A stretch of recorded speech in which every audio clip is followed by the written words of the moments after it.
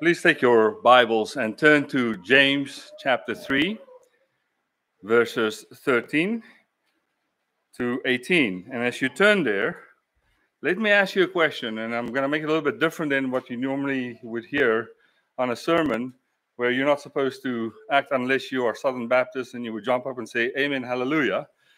But I'm going to ask the question that who was the wisest person ever to live? King Solomon. That's right. Now, other than King Solomon, who other can you, um, who other person, or what other person can you think of that was considered a wise person? Jesus. That's right. He's ultimately the wisest. But let's look at from a man's perspective, not the God man, Jesus, but other than King Solomon, um, Isaac Newton was considered uh, in the history as one of the smartest people. Now, unfortunately, he's not with us but he was actually a true polymath, and uh, his brilliance was actually what they would call synonymous with uh, genius. And apart from King Solomon and Newton, we're going to look at who's another person that we would think is wise and as human, not as the God man. Now, before I do that, how are we going to measure somebody as being wise?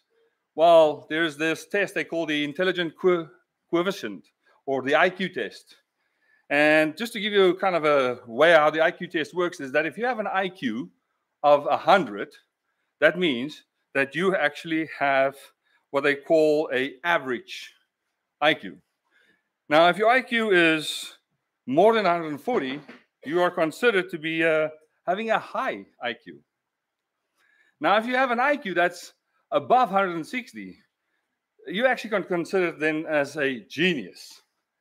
Uh, that would make people like uh, Elon Musk a genius. Makes you wonder. And then there's a category that's called the super genius. These are people that has an IQ that's above 190. Now, with that in mind, let's look at this super genius category let's go to the, the 18th or 19th century when we had um, this article that I came across as the person in 1898. The smartest man who ever lived and was, was actually born here in the US.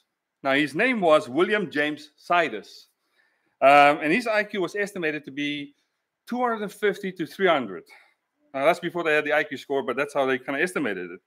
But let's get into last century, the 20th century, and that is when in 1986, a lady with the name Marilyn vos Savant. Uh, she was a columnist and a writer, and she actually made history when she was considered, or actually put into the Guinness Book of World Records as the wisest person with an IQ of, let me just make sure, 228. And she actually achieved this when she did the uh, what they call the Stanford Binet test at the age of 10. Okay, now let's look at this century, the 21st century. How about on the 4th of January this year? A uh, very reputable source, allthingsinteresting.com, reported that there was a uh, horse rancher uh, with the name Christopher Michael Langan. And despite that he actually had no formal education, he had an IQ that was between 195 to 210. Now, he could speak at the age of six, and he could actually read when he was three years old. But when he turned five, that's only when he started wondering about the existence of God. Now, let's get really close, like three months, four months ago, on uh, or four months ago, five months ago, on the 19th of April, this year. Another very reputable source, Tuko, the Kenyan news and entertainment website, reported that a person with the name Terence Tao um, had an IQ score of 230. And that he's actually the smartest person in life. And actually, he's been called the Mozart of math. Now, what was interesting is that at the age of two, he had learned to read by watching Sesame Street. And we as parents thought we had it down how to make our children smart. We have been doing the wrong thing all the time. Now, all jokes aside, when it comes to who's the smartest person, I like to turn to what theologians would say. What are their views of what smart is? And I'm going to give you a few quotes that I came across as I was doing the study. This is from John Calvin. He says that nearly all the wisdom we possess, that is to say, true and sound wisdom, consists of two parts the knowledge of God and oneself. How about this quote from Sinclair Ferguson? Wisdom and the will of God are intimately related. Nothing is more vital for practical knowledge of the purpose of God than wisdom. Or I like actually how Matthew Henry said this. He said that such is the degeneracy of human nature that there is no true wisdom to be found within anyone but those who are born again and who, through grace, partake of the divine nature. But one of my two favorite quotes that I came across was is that this one of Tozer, A.W. Tozer. He said, The wisest person in the world is the person who knows the most about God. Well, here's my ultimate favorite one. This is by Spiros Zodhiates. Now, I've understood from Pastor Harton that it's actually related to him on his mom's side, and this is not a, this is true. So we should thank Leah when we see her for the wisdom that Pastor Harton has. But also, jokes aside, but he quoted this. He said, Wisdom. The wisdom of God is not something that is acquired by man but something that is bestowed by God, by his elect. It is a divine endowment and not a human acquisition. I'm going to read it to you again. Wisdom, the wisdom of God, is not something that is acquired by man, but something that is bestowed by God upon his elect. It is a divine endowment and not a human acquisition. Quite a contrast. What we're seeing about man's view of wisdom and then what our theologian says. But ultimately, I just don't go to the man's or our theologian's wisdom. I go to scripture. And as I ask you to turn to James 3, we are going to look now and we're going to read together James 3, chapter 3, verses 13 to 18. Now, James is here in the second part of chapter 3. The last time we spoke, we spoke about the te test that is uh, the tongue that is controlled, the test of faith. And now we're going to the second part, and I will outline it for us. But let's read verse 13. In James 3, verse 13 to 18. Who is wise and understanding among you? By his good conduct, let him show his works in the meekness of wisdom. But if you have bitter jealousy and selfish ambition in your hearts, do not boast and be false to the truth. This is not the wisdom that comes down from above, but it is earthly, unspiritual, and demonic. For where jealousy and selfish ambition exist, there will be disorder and every vile practice. But the wisdom from above is first pure, then peaceable, gentle, open to reason, full of mercy and good fruits, impartial and sincere. And a harvest of righteousness is shown in peace by those who make peace. Now, there are some of our visitors here. Um, we've been going through the book of James, and for those who uh, might have, have short memory like I have, we've been going through the scripture in the book of James where we're looking at the biblical concept of why we need to test our salvation, to see if our faith is genuine and true. Now, James gives us 13 tests in the whole book of James that um, we can test our faith to see if it's genuine. And he also gives us the practical responses to help us examine whether our faith is true. Now, I'm just going to quickly um, kind of call out the tests that we've covered so far. We know that there's the six tests or seven tests, six tests that we have covered. And today we're going to go into the seventh test. But the six tests that we have covered, three of them came out of James chapter one. The first test was that the test of perseverance in suffering. The second test was actually the test of blame in temptation. Our third test was the responding to God's word when tested. And the fourth is the test of impartial love. And the fifth test is the test of righteous work. Now, the third and fourth test, or the fourth and fifth test, was actually in chapter 2. And then we had our sixth test, which was the start of chapter 3, the test of controlling one's tongue. Now, today we are going to study from God's Word the seventh test. We're going to ask this question if a believer um, acts with gentle and humble wisdom when his test is faith, um, faith or his test or his faith is being tested, is he going to act with gentle and humble wisdom?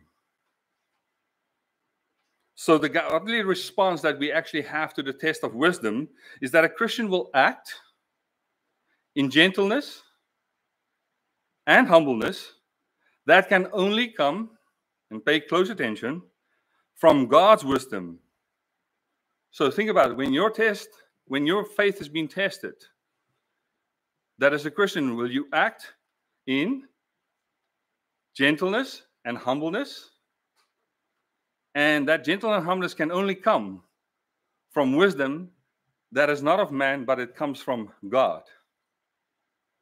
Okay? Now, we know that there's two types of faith. Correct? There is true faith. And in this case, today we're going to see how that true faith acts in, in gentleness and humbleness. And there is also false faith. And in this specific test, we're going to look at the false faith that results in itself in how man acts but acts in his wisdom, man's wisdom. Now, let me just put it out here that chapter 3 is divided in two sections, if you recall from the last time. So we have done the first section, as I said, which is the, the control of the tongue. That was in verses 1 to 12. Now, as we look at this uh, second part, verses 13 to 18, that we are in today, this third part is actually broken down into four sections that I'm going to cover for us today. Now, let's put it this way. We're also going to look at this test in context. We're going to look at this test in the context of how the tongue was actually in the first part, the uh, effect of self-control um, as it relates to that um, um, and, and person's uh, uh, self-control in terms of his faith. How are you able to control your tongue? And now we're going to look at it in relationship to the relationships we have amongst the body. Okay? So we're going to look at faith that acts in gentleness and humbleness according to God's wisdom, but as it relates to the local body of Mendon Community Church. Now, as I said, there's four sections that we are going to go through. And James actually outlines this four um, points for us to help us understand. I'm going to give it to you here. And for those note takers, don't worry, we'll repeat it as we go along. So don't need to worry if I go too fast through this. But the first point that we are going to cover is the challenge to man's wisdom. It's the exposing of man's wisdom. That we will find in James 3, chapter, chapter 3, verse 13. The second point that uh, James is outlining here for us is actually found in James 3, verse 14, and that is called the motivation of man's wisdom. And this motivation of man's wisdom is actually going to be three subpoints that's going to show us the motivation of man's wisdom. Um, let me quickly give it to you here. Um, and don't worry to take the notes, we'll get there. But man's wisdom is rooted first in bitter jealousy and selfish ambition. Man's motivation is also seen in that it is puffed up. And man's wisdom is also the motivation is showing in man that is lying against God's truth. So those are the three points that will be under motivation. So far, we have got the challenge of man's uh, wisdom that exposes him. The second point is the man's motivation to his uh, his own wisdom. Now, the third point is, is we're also going to look at, and that's in verse 15, is going to show us the source of man's wisdom, that it is earthly, natural, and demonic. And the fourth point, verse 16, is we're going to see the fruit of man's wisdom, that it ends in this disorder and every evil thing. All right, so we've got four points the challenge to man's wisdom, the motivation to man's wisdom, the source of man's wisdom, and the fourth one, the fruit or results. Now, before we start, you've heard Pastor Ayrton and uh, Rick when he says, What is the main thrust of this part of the scripture that we are in? And let me give it to you, and we'll see that as we read the scripture. Who is wise and understanding among you? That's the main thrust here. The question is asked to self examine who is wise and understanding among you. Now, before I start this, I thought it would be good here to give an illustration just to kind of show you, as I said, we're going to look at it in relation to the local body, the relationship that we have. Now, I took this from the book um, called The Body by Chuck Colson. And he relates a very tragic story in this chapter. And in this chapter, he entitled The Right fist of fellowship. That should tell you something. The right fist of fellowship. And I read from the book, and I'm quoting here. It says, It was the right hook that got him. Pastor White might have stood in front of the communion table trading punches with the head, head deacon, Ray Bryson. All morning, had not Ray's fist caught him on the chin two minutes and 56 and 15 seconds into the fight. Well, weight went down for the count at the altar, where most members of Emmanuel Baptist Church had first declared their commitment to Christ. Within an instant, the majority of the congregation converged on the communion table, punching and shoving. The brawl soon spilled over into the open space beside the organ. And Mary Dahl, the director of Dorcas Society, threw a hymnal. The missile sailed high and wide and splashed down the baptistry behind the choir. When Ray's right hook finally took the pastor down, someone grabbed the spring flower arrangement from the altar and threw it in the air in Ray's direction. Water sprinkled everyone in the first two rows on the right side.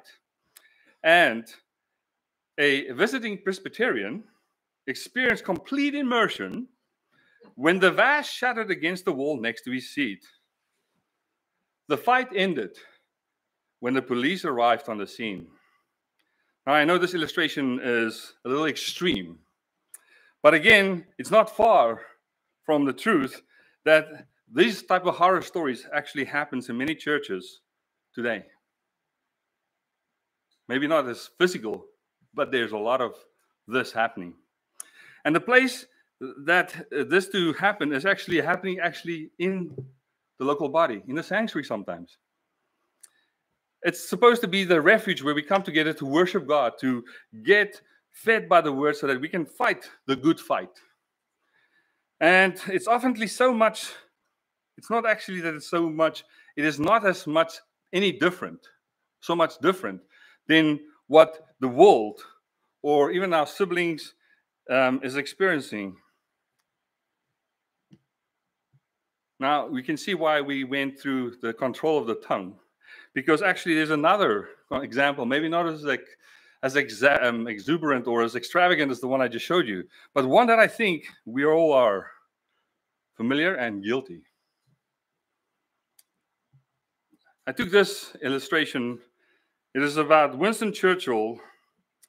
And as we know that Winston Churchill, according to man, was exemplified with integrity and respect in the face of opposition. And during his last few years of uh, um, being in office, he attended an official ceremony. And several rows behind him were uh, two gentlemen, and they began to whisper. They said, That is Winston Churchill. They say he's getting senile. They say that he should step down and leave the running of the country, the nation, to more dynamic, capable men. So when this ceremony was over, Winston Churchill walked over and turned to the man and he said, Hey, they also say he's not deaf. That's gossip.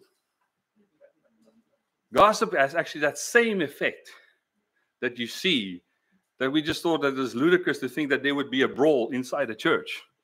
But it's that same effect that causes disunity. And we heard as Rick preached that we are part of one body. Though we are many members, we are one body. It ought not to be that. And that's why we started James 3. That's why James showed us that he started with the control of the tongue. Now, the control of the tongue is, or the tongue is just an instrument that shows what's going on in the heart. And that's what we're going to look today is, is that the heart, where's our wisdom? Where's our focus?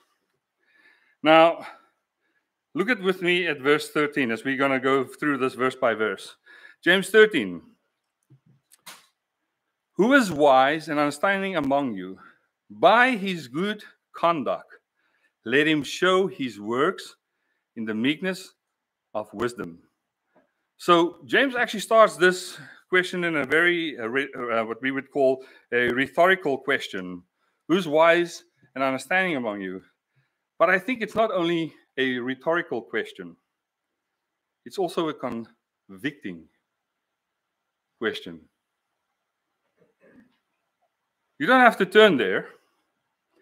But let me give you an example why I say that type of question that is rhetorical but also convicting Look at Luke. Um, you don't have to look at it as I read in Luke 11, chapter 11, verse 11. Now, suppose one of you fathers is asked by his son for a fish. He will not give him a snake instead of a fish, will he? Do you see that? It's a question to ask and it's rhetorical, but it's also a question that's convicting, makes you think. Now, when James asks here, who is wise and understanding among you? I can just imagine he just started chapter 30, 33 when in verses 1 where he said that those who wants to teach should consider it carefully because of their tongue. Now, you can imagine he was talking to teachers there as well as to the members that he was writing to, but you can imagine that some of these uh, self appointed teachers of that time might have thought, oh, I am so pleased. James is reckoning, reckoning or recognizing my uh, teaching abilities. I'm so glad he's really come to see that. Well, I don't think that is the case. Because if we read this, it says in this first part of uh, verse 13, he says, um, he says there that who is wise and understanding among you? That is that rhetorical and convicting question. But then he says there, let him show by his good conduct or behavior, his deeds, or you could say his works, in the gentleness and meekness of wisdom. Now, note that here, James is not saying that anybody there um, is not wise by this question. In fact, he's challenging us, as I said, to do self examination. Now, he says basically here, if I can just summarize it in it's very short. You say you're wise, prove it. Okay, that's basically the concept. Show you wise, prove it. Now,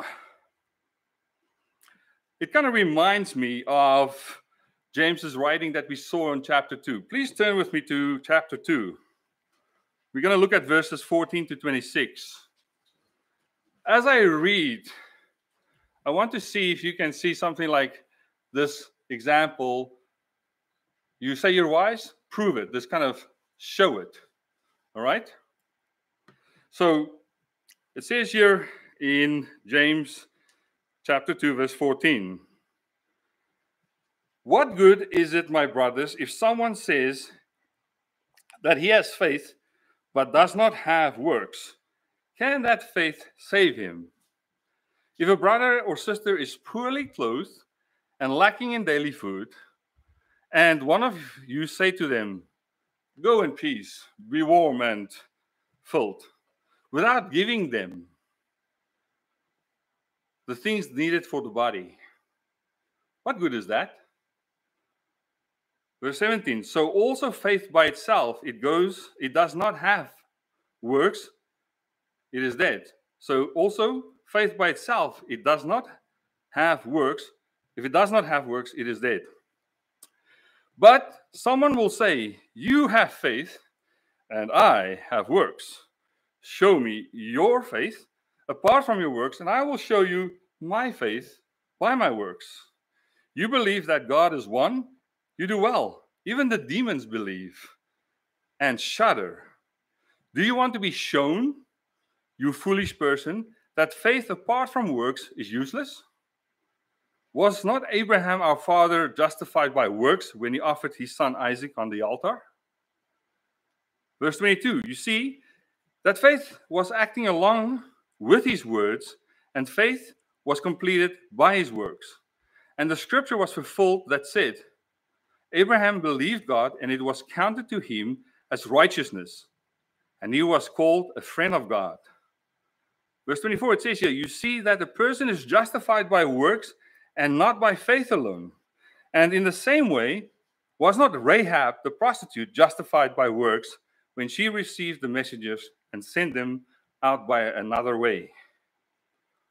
For as the body apart from the spirit is dead, so also faith apart from works is dead. Now, I know you are very good biblical uh, scholars, and you picked up that there was three examples, as we saw here in chapter three. So you think you're wise and understanding? Let him show, show it, prove it. You say you're wise, prove it. There's three kind of examples we see here. Did you see the first one was poorly clothed and lacking in daily food? Was that first example? That if they're hungry, how do you respond? Show it if you are compassionate. Abraham, by faith, and Rahab. Those are the three examples that we see here. And it's the kind of example that James uses. You say you are believing, then show me your works. You say that you are wise and understanding, prove it. Do we see that example there? Now,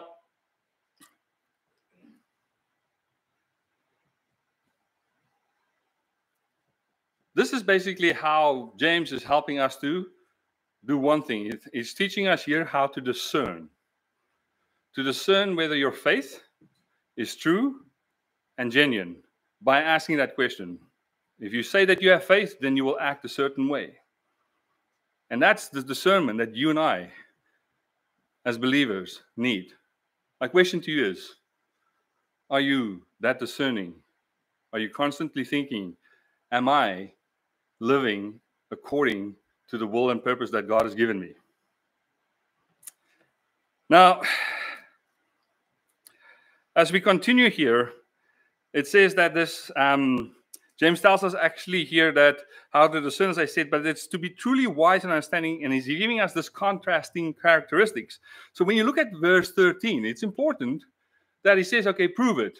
Well, good, James. You said uh, if I say if you if I say I'm wise and you say to me, prove it. How am I going to prove it? We're not going to cover it today, but you actually can look with me in chapter three, verse uh, 17.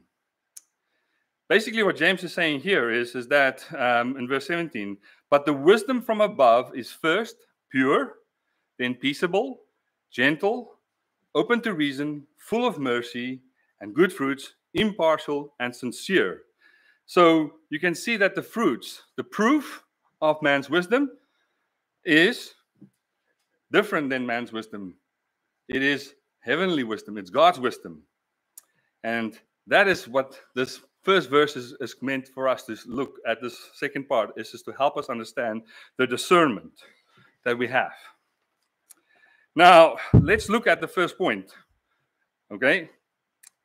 Well, let me take that back. We just covered the first point, the challenge of man's wisdom. Now we're going to look at the second point, the motivation.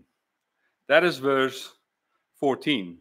And as I said, there are three ways of how we're going to discern or look at what's man's wisdom that we can see. What is that motivation? There's three points. And the three points are that man's wisdom is rooted in bitter jealousy and selfish ambition. It says here, but if you have bitter jealousy and selfish ambition in your heart, okay, straightforward. But then when we look at the second point of man's motivation, it is puffed up. It doesn't say puff up there, but it says do not boast. Okay, and we'll unpack that a little bit more. And then the third point that we're going to cover here is, is that man's wisdom lies against the truth. It says, and be false to the truth. That means lies against God's truth. So John, James here actually is contrasting to us that false wisdom, wisdom that we get here is actually going to be found in verses 14 to 16. And we're starting with this motivation. Okay, so that's man's wisdom. Now, it's important when you read and you see the word but. What does it mean? There's a contrast, isn't it? So he says, but if you have bitter jealousy, okay, so he just exhorted us to do self examination and with acting in what I would say good behavior, godly manner is, is what you expected to see in meekness and, and in, in humbleness through our works. Now he's showing this contrast, but but now look at this that I don't think that um, it is believed that some of James' readers were um, this wasn't like a philosophical point that he was trying to bring across or a theological point. I think here it is actually that James was actually dealing with the congregation, with members or people in the and that he wrote the letters to, then the dispersed nation of believers, that they actually had actually were guilty of this, this bitter jealousy and selfish ambition. And it was not a hypothetical point or a theological discussion. And why I say that is, is that when you look at this, this but, it's giving contrast.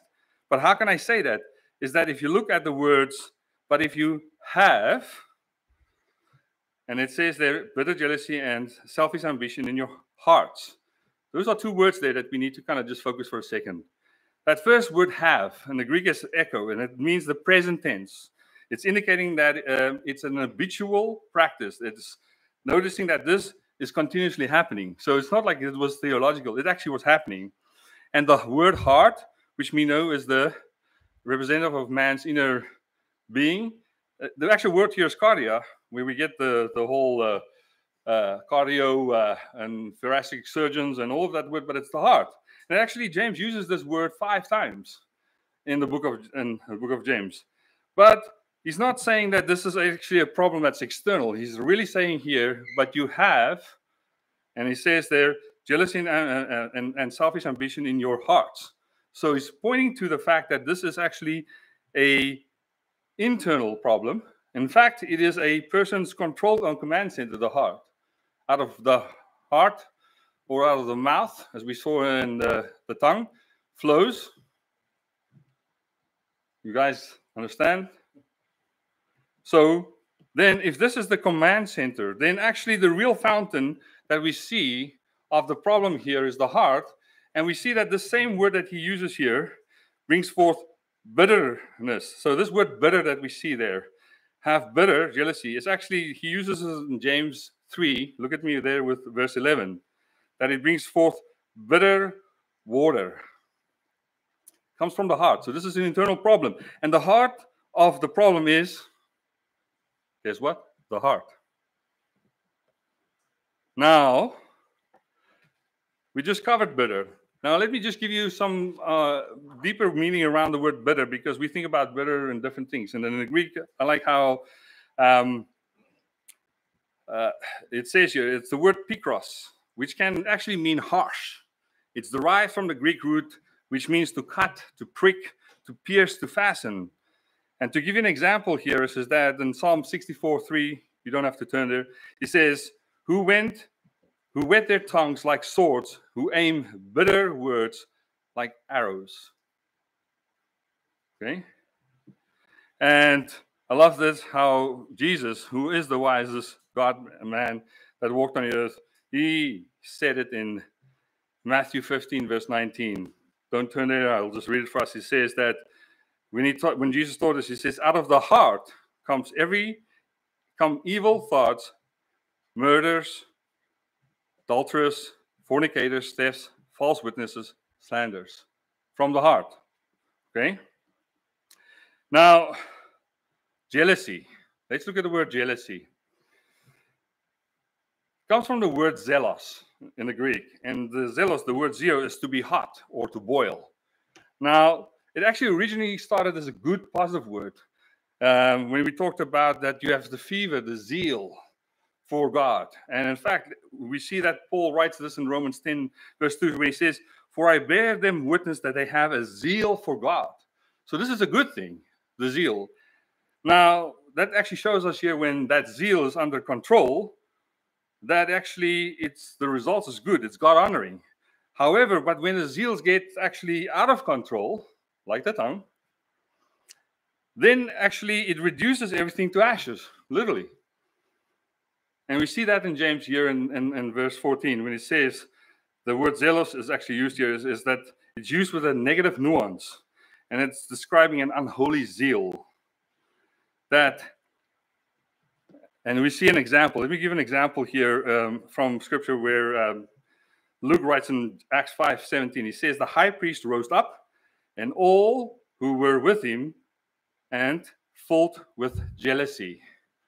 It's a negative component to that. Now, as we continue this verse 14, we look at the selfish ambition as that next part. So, selfish ambition um, here is actually used in, in, in James 3, verse 16.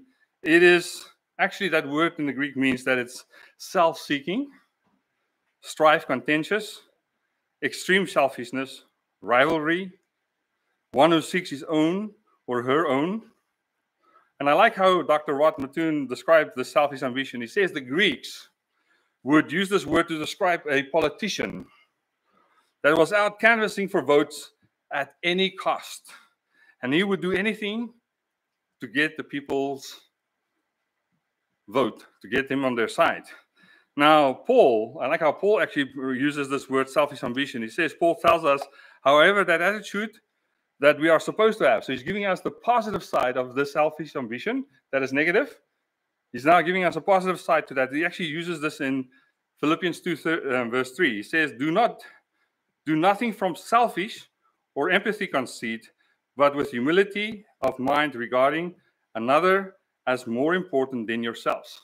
But that um, selfishness, that ambition can be negative or it can be positive. Now, we just looked at the first uh, motivation that man's wisdom is rooted in bitterness and jealousy, or um, in, in, bitter jealousy and selfish ambition. Now we're going to turn to look at the as we continue doing, looking at verse 14 that man's wisdom is puffed up. It says here that do not boast. Now that do not boast in some of your uh, Bible um, translations, it should say do not be angry, um, arrogant. Now, the basic idea here is to exalt and being able to prevail over something or somebody. And it's boasting in oneself in the, and at the actual cost, at the injury of another person. So it says, do not be angry or not, do not be arrogant in Romans 11 18 as an example. I want you to not look at there, but listen as I go there. Do not be arrogant towards the branches. If you are, remember it's not you who support the root, but the root that supports you. That do not be arrogant is the same to do not boast. So we've covered now the first motivation. It is rooted in bitter uh, jealousy and selfish um, ambition. Second point we just looked at now, it is up. That says, do not boast, but it's boasting. And now we're going to look at the third point, that it lies against God's truth. Now, as we look here at verse 14, it says, um, be false to the truth. The false here, actually, um, the Greek term and the English equivalent to that is, is to lie. That's false, to lie. Now, it's important to notice that the lie is not just some, not simply just telling something that is not true, because we think about lie, it's not telling what's the truth. But in fact, here the word that they use here is the Greek word to use, pseudomai, and it comes from the word pseudo, which means to cheat or to defraud or to falsify. Now, it actually means to tell a falsehood or attempt to deceive by lying and to speak falsely. Now, it's important here that it goes to the intent when it says false. When it says it lies, the intent, it goes back to the heart. What is the intent? It is to deceive. And that's why um, another good example of this word that we see here, where it says false, or as we could say, to, um, don't do not lie, we can find in First John chapter 1, verse 6. It says, If we say that we have fellowship with him while we walk in darkness, we lie. That's the same word and do not practice the truth. It's not just telling what is not true, but we lie. We're trying to deceive. Now, man's wisdom, as I said, is rooted in this lie against the truth. But there's this last word here, the truth. Now, it says, don't be false against the truth. Now, why did James put that in it? Why did he just say, don't lie, don't try to deceive? He puts that word truth in there because that truth word, actually the, the Greek for it is aletheia, actually has a literal sense. And it actually contains that nothing is hidden. So basically, to give you an example what that word of truth means, is, is that we can look at it here as it says in Matthew 22, verse 16. It says, And they sent their disciples to him along with the Herodians, saying, Teacher, we know that you are true so it is what it is. It's really stating that it's visible. And teach the way of God truthfully, again, exposing the opposite of deceit. And do not care about anyone's opinion, for you are not swayed by appearances. Matthew 22, verse 16. So that says when you lie against God's truth, not only are you deceiving, but you're deceiving against that which is actually pointing out the truth. And that truth comes from God. That's where the heavenly wisdom comes in. Now, we've now covered the challenge. We've now looked at verse 14 at the motivation, the three points. And those three points are that it is rooted, the motivation is rooted in bitter jealousy and selfish ambition. That wisdom, man's wisdom, is rooted in um, or is puffed up. And we looked at this last point that man's wisdom lies against the God's truth. Now we're going to get to verse 15 the source of man's wisdom. And it says here in verse 15 man's wisdom is earthly, natural, and demonic. Let's read it. It says, This is not wisdom that comes down from above, but earthly, unspiritual, demonic. So, this type of wisdom that we see here, man's wisdom, it's actually counterfeit wisdom. It is secular wisdom. And it is not spiritual. It is not wisdom that falls from above. You see, it's actually originated as a result from the fall. Let me explain. From above here, it says here, this is not the wisdom that comes from comes down from above. This word above and nothing is actually from two compound words from the Greek. It's ano, above, and upward. It literally means to be above. But then let me give you an example for that above is what I mean we talk it's not coming from above it actually was used by it was a what we would call a rabbinical way of referring to god or yahweh. Um, let me give you an example here. Turn with me to james chapter 1 verse 17 james used this actual same phrase that from above he uses that in james chapter 1 verse 17 as you look there at verse 17 in chapter 1, it says, Every good gift and every perfect gift is from above, coming down from the Father of lights, with whom there is no variation or shadow due to change. See how he uses that comes from above, is heavenly, it comes from God. But then when we look at verse 15, it says, This wisdom is not coming from above. This is that, that comes down from above. This is wisdom that is not now, we looked at it now from this that is not coming from above. Um, let me give you that spiritual wisdom that comes from the Spirit, is from God, is that actually was modeled perfectly for us when we look at that wisdom. So bear with me for a sec here. When we look at the Old Testament, when the, um, the prophet, um, prophet Isaiah prophesies, and he said in Isaiah 11, verse 2, he said, The Spirit of the Lord will rest upon him Who's the him? That's Christ. And it says, and also, um, um, let me read that whole uh, verse for us in Isaiah, uh, um, Isaiah 11, verse 2. It says, And the Spirit of the Lord shall rest upon him, the Spirit of wisdom and understanding, the Spirit of counsel and might, the Spirit of knowledge and the fear of the Lord. That is what comes from above. Now, the contrast to that is that um, and it's a very dramatic contrast when you think about it. It says that it is earthly, it's unspiritual, and it's demonic. And it actually shows that it comes from the father of lies who gives us the wisdom or the earthly wisdom. And this earthly wisdom here, just to give you an example what it means, it is earthbound, and the word for the Greek is it's epigeos, which epi means upon and gi means earth. It's literally on earth. So James is not trying to confuse us. He's saying this wisdom comes from earth. It's not from above. We know that every good blessing comes from above, as he says in James 1, verse 17. And it, it belongs actually not on heaven, but it belongs on earth. And this idea that James is trying to convey here for us is that, that from man, the created being, is where this wisdom comes. It's not from God. Uh, and I like this where it says, um, as an example, this word earthly Philippians 3, verse 19. It says, The end is destruction. Their God is their belly, and they glory in their shame with minds set on earthly things. Okay? Now, I do want to see.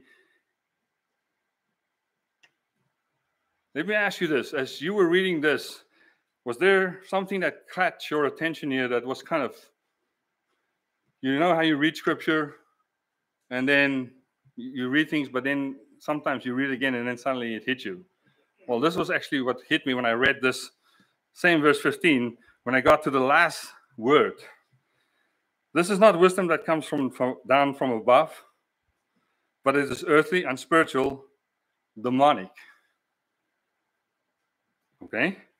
Now, this word demonic actually is not in the Septuagint, but it actually is diamonides, or from the Greek word diamon, which means demon.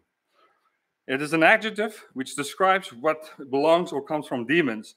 Now, it's only used here in James 3, verse 15. And it describes this wisdom as man's wisdom as demon like, devilish, and is of the devil. Have you ever thought of the wisdom that you have? Man's wisdom, that it's demonic, that's the last thing I think anybody would think about wisdom, is that it's demonic. If it's not on godly wisdom, it's man's wisdom. Have you thought about that? Because that made me think, wow, demonic. This is hard words. And if you think about it, um, uh, James is my favorite author, and as, with that I say this Paul. And I like how Paul actually says that if you look at this wisdom that's rooted in earthly natural wisdom that is devil uh, from the devil actually, Paul writes this in Ephesians 6, verse 16, when he talks about wearing the full armor of God. He says that that this demons can fire flaming darts um, into the minds of the believer, and that all circumstances, circumstances take up the shield of faith with which you can extinguish the flaming darts of the evil one. So, earthly, unspiritual, and devilish or demon, demonic wisdom is man's wisdom. It's not from God. Now, what is the result or the fruit? Is our third point. We just covered under um, the source. We went through what is the challenge, what is the motivation. We just looked at the source, and we know that it's demonic, it's earthly. And now we're going to look at the fruit of man's wisdom in the disorder um, that ends in disorder and every evil thing. It's the last point, point number four. Read with me verse 16 in chapter 3. For we, for where jealousy and selfish ambition exist, there will be disorder and every vile practice. Now, disorder or disturbances from the Greek word here is the word akatasia. Try to say that seven times fast. From akatastatos, which means unstable. Now, when you hear the word "a" in the Greek, it, in front of any word, it actually means the negative. You are good scholars, as I know, and you know you knew that already. Now it says that it is without order or stability. So when we look at this verse 16, it says, "Where jealousy and selfish ambition exist, there will be disorder." That word "disorder" here is actually another way that we can look at as an example in Scripture. Is in First Corinthians chapter 14, verse 33. You don't have to turn there. Just note it says, For God is not a God of confusion. That word confusion there is akatastasia. Same word that John uses here in verse 16. Now, we also see that James used this in verse 8 of chapter 1. And you thought we were done with those first two chapters when you can see how James continuously bring this concept across when he says that in verse 8, and you can look with me at verse 8 in chapter 1. James chapter 1, verse 8, he says, and it actually here he says that being a double-minded, unstable in all his ways. And it says here that it's actually here for us is to understand that this unstable, this double-minded man, this unstable, is the same word. It is akatastastos.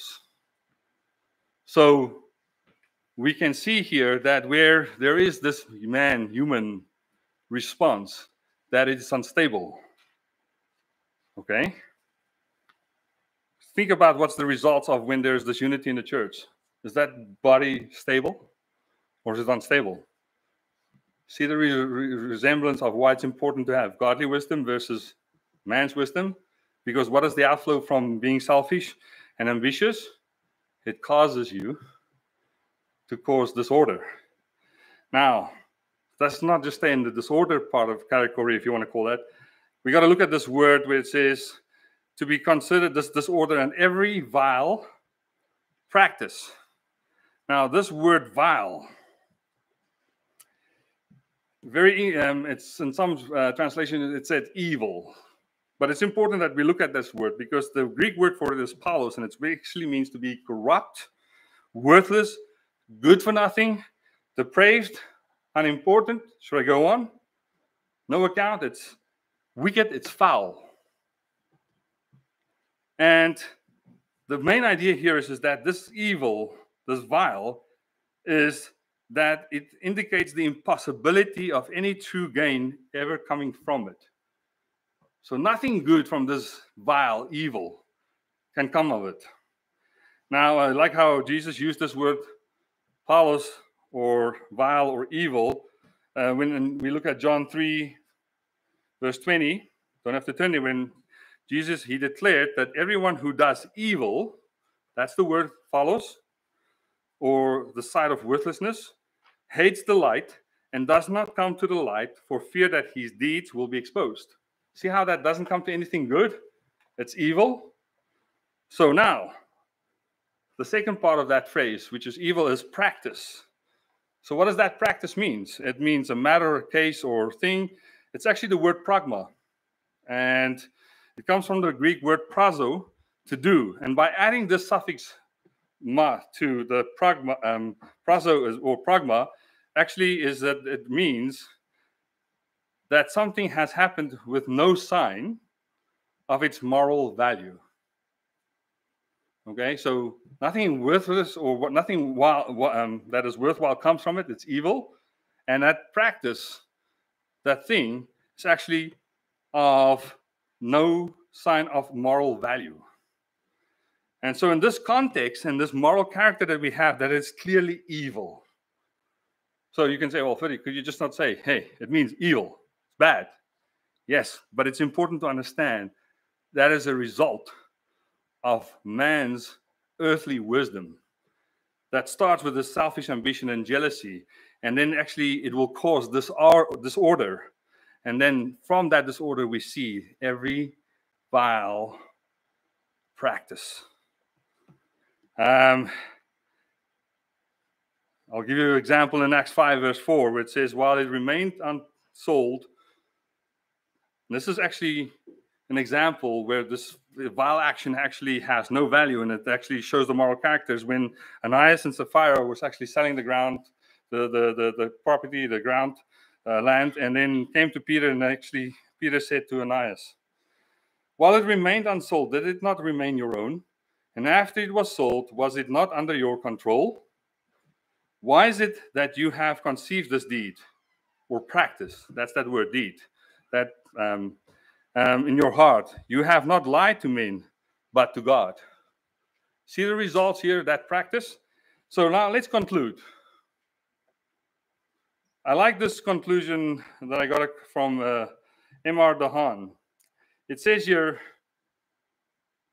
in the summer of 1986, two ships collided in the Black Sea, and it caused tragic loss of life. The news of the disaster was actually further darkened when an investigation revealed that the cause of the accident that tossed hundreds of people, passengers, into the icy waters, that the blame did not belong to a defective radar or thick fog, but to human big headedness. Both captains were aware of the ship's, the other ship's presence, and they could actually have taken evasive action to avoid this. But according to the news report, neither of them gave way to the other. You see,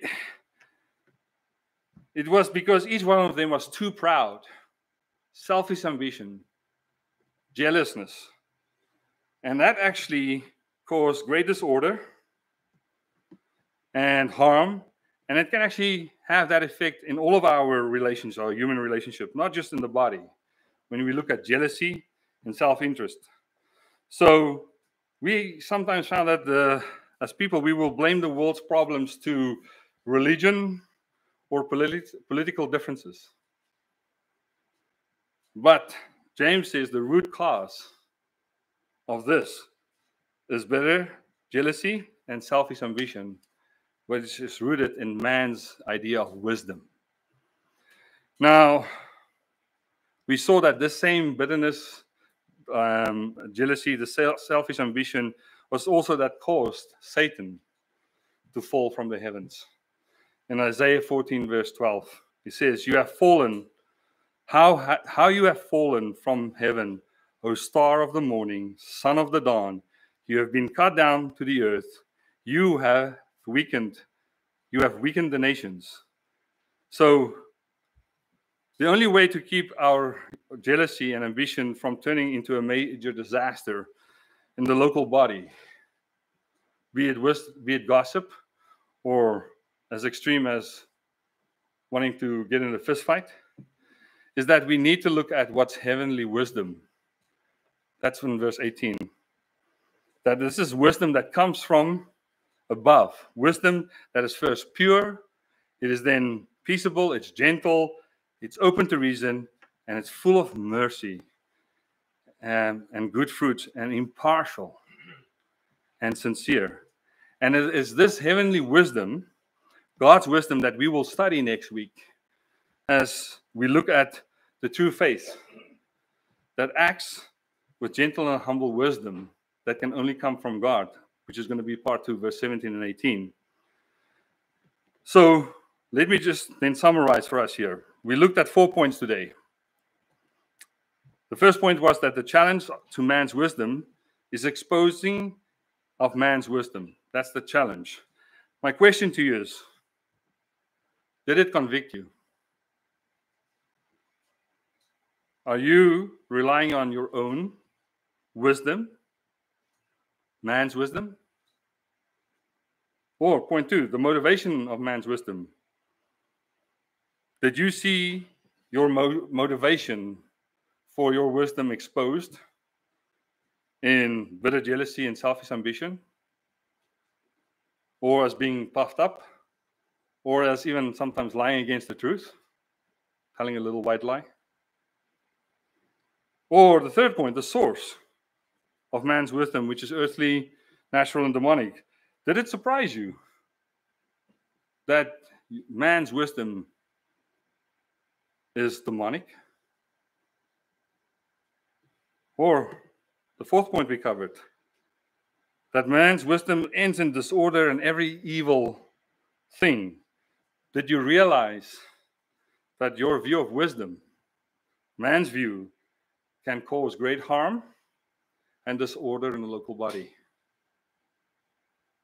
If you answer to one of these questions, yes, then my prayer for you this days, brothers and sisters, is that you will turn to God and ask Him for wisdom. And I love how James so beautifully laid it out for us as a prayer in James 5.